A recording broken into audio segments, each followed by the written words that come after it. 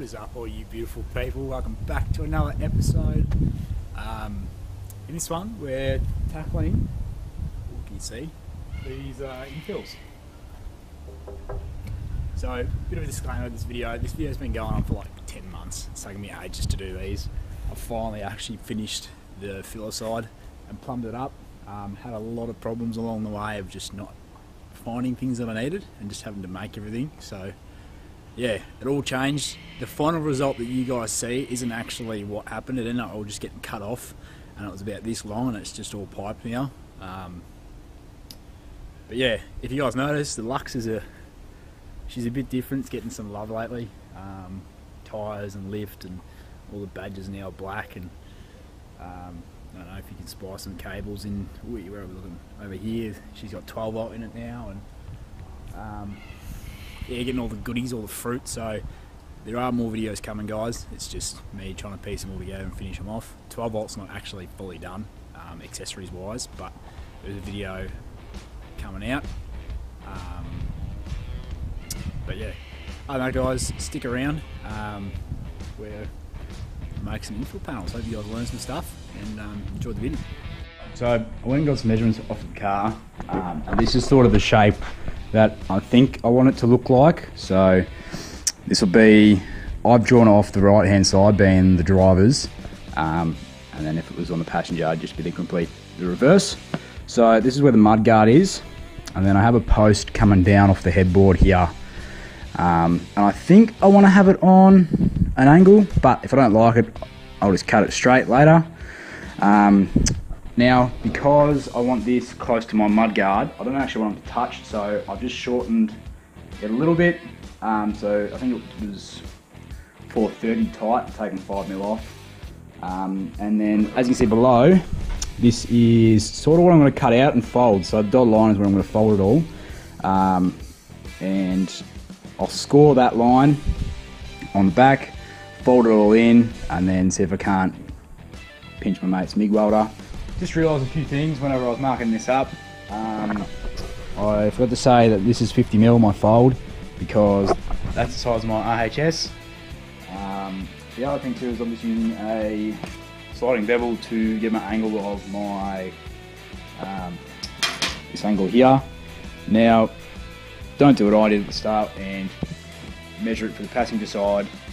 Get the angle for the passenger side, but all your measurements for the driver make sure you do it from the same side because they're probably going to be different like mine are.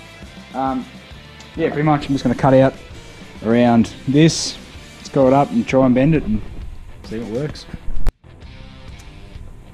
Just finished cutting out my shape of my infill, I guess we'll call it.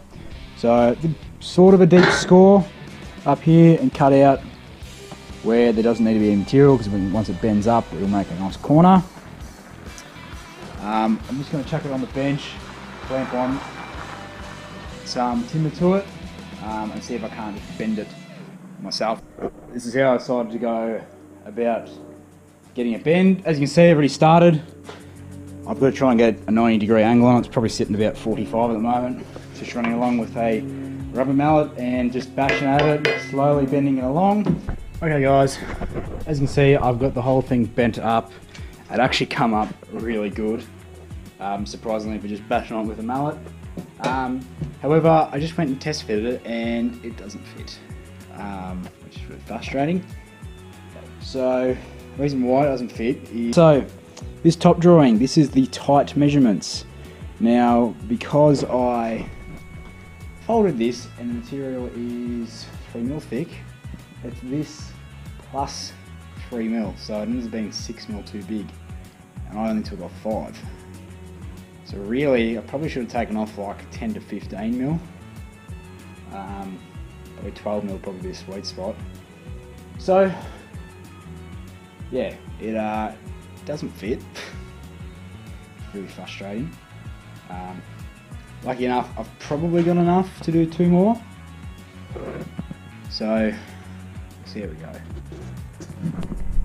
So, second one fits mint. So that's sort of what I wanted, sort of a five mil gap there. So I ended up just taking 13 mil. It's been a while since you guys last saw me on camera. Um, I've done a little bit more to my filling panels. So I've got a friend of mine to weld up everything, so he welded up all the seams. Um, also for the driver's side, cut in a footstep. Mate to weld in some gussets. So welded some those in. So cleaned them up, drilled all new holes for them on just the one that I got rib nuts for because I ran out actually. And that's what it looks like. So this side is where I'm going to have my filler cap um, for my fuel tank and then eventually if I get a water tank in there I'll put it down next to it so I think that looks pretty clean. I'm happy with the angles on it. Um, again, you know, just little things, you know, forgot to take off the height of material because I was working for inside dimensions and everything's folded on the outside so that's you know three mil longer. That one's probably five or six but it's not too bad. Um, as you can see I literally just marked where the center of the rib nuts was so I just slid it past so I could see the rib nuts and then marked them all. So I didn't mark it up the second time. Man so traced out a circle it's the same size as this thing as this thing on here and I'm just to drill a bunch of little holes like this. Bought some flat wheel disc things for, I don't know, a couple bucks and we'll see if I can't make this thing circle enough to fit the filler back in. Close your ears. Right, I'm happy with that.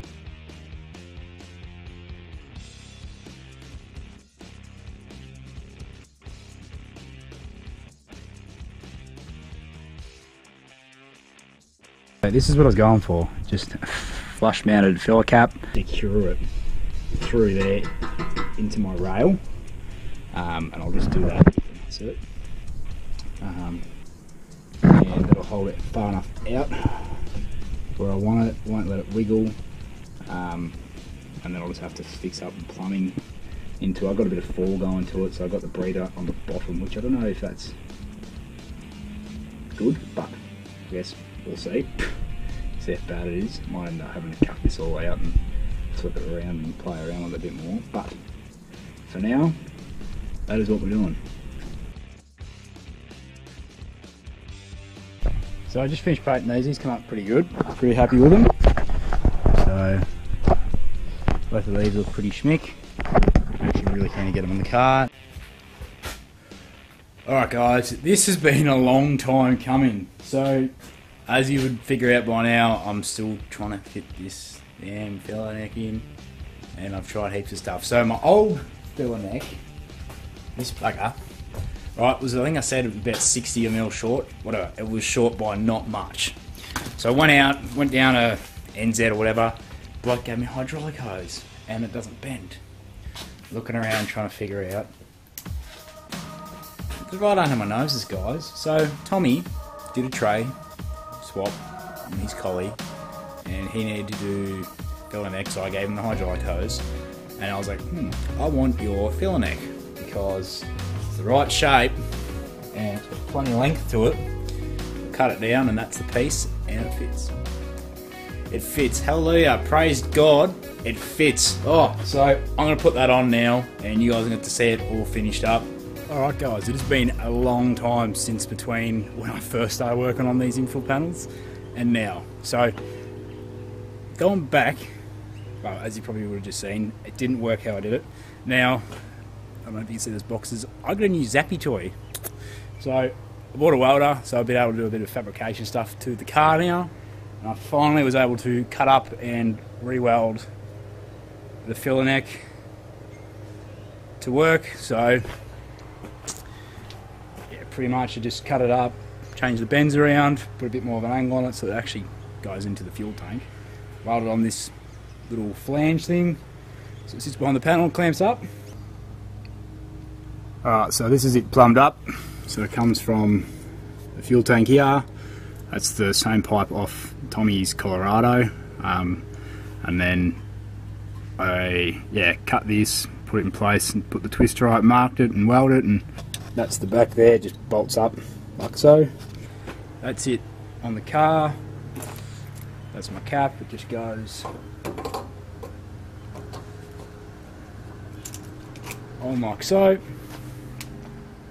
I am going to change out these two nuts for maybe some black dome heads because I don't really like the stainless look on that because everything else is black. yeah, guys, thanks for all the support. Um, I also want to hear back from you guys more. Um, a fair few of you guys come um, got in contact with me and asked um, a heap of questions and stuff. Um, I want to hear back about your builds, uh, your canopy fit outs, your trays, everything. So shoot them through um, on my Instagram. It's dan.loughridge. It's the same name as my channel here. Um, but yeah, God bless you, and I will see you in the next one.